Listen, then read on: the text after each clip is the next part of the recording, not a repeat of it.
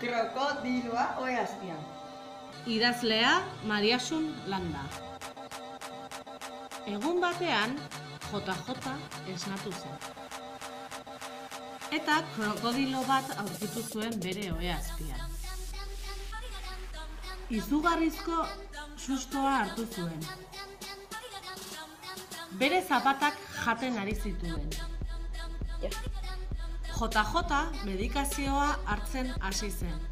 Krokodiloa berriz ez ikusteko.